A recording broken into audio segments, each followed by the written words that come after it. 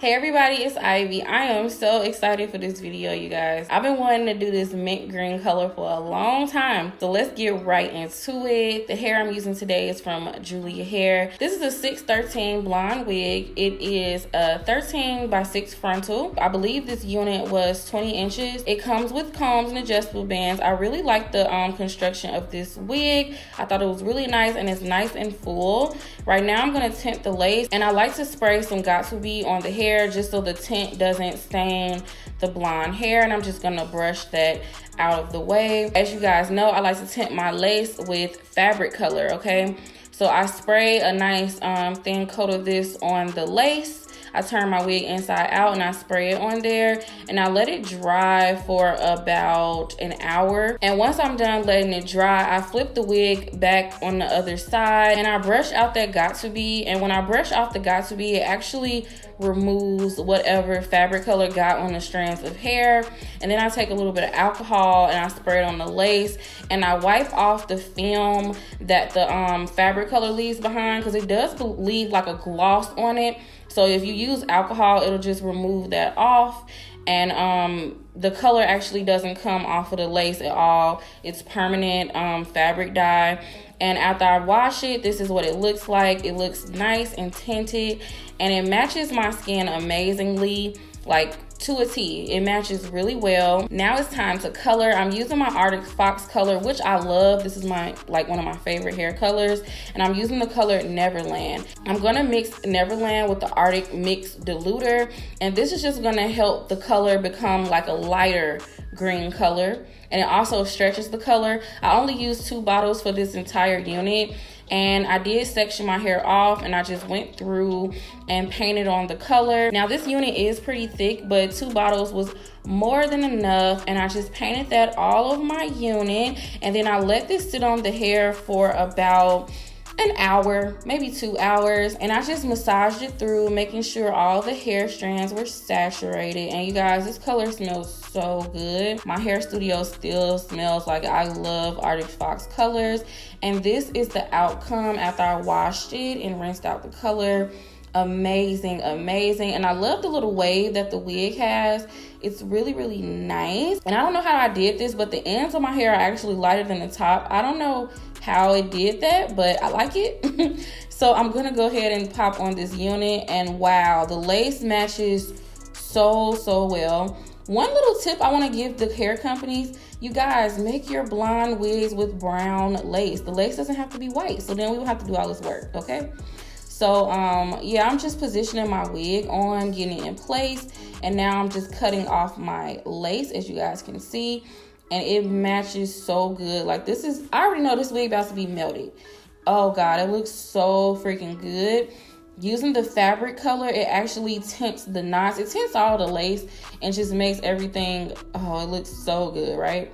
So now I'm just continuing to cut off my lace and I'm going to um, tack this wig down with some Got2b. I didn't want to glue it, I just wanted to use some Got2b. And um, I only used a little, a little, little bit and I'm using my blow dryer on cool just to tack my lace in place. And this thing is melted, y'all. Like it looks super, super good. Like this is probably one of my favorite color wigs I've ever did on myself. It's so pretty. I didn't even want to take it off, y'all. Like this wig is it, okay? And I decided to do a middle part because y'all know I'm just I'm middle part girl. So I did me a nice little middle part and I'm to take my blow dryer and just flatten my hair out. You guys already know the routine. Y'all know how I do my wigs. And I'm just using my blow dryer to get everything nice and flat because one thing I hate is a lumpy wig, okay? Don't get caught with no lumpy wig because it's not cute, okay? Make sure your wigs are nice and flat. However you do them, make sure that thing flat, okay? So I'm not gonna do like a lot of baby hairs on this unit. I'm just gonna do some like on the sides. With my units, I'm starting not to like a whole lot of baby hair on them, especially when it's like colors and stuff like that. I, I've learned that less is more and I'm using like a little eyebrow razor just to cut my baby hair. You guys already know the routine. If you want to see a video that's more in depth about how I lay my laces, I will have one in my cards. Check above the video. So now I'm using my Got2b gel and I'm going to use this to lay down my baby hairs. And this is just going to add some extra security. I'm just using a little, little bit. I don't want nothing too dramatic. And I'm um, also brushing the edges of the wig back. I like for the edges to be back. It gives me a nice polished look. And now I'm just doing my baby hairs on the other side of my head.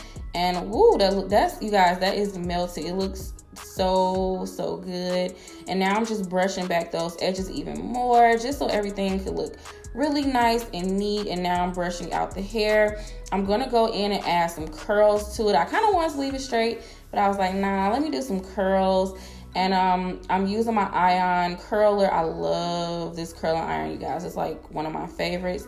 I just got it, and it gives me the perfect big loose curls that I love because I don't really like super tight curls.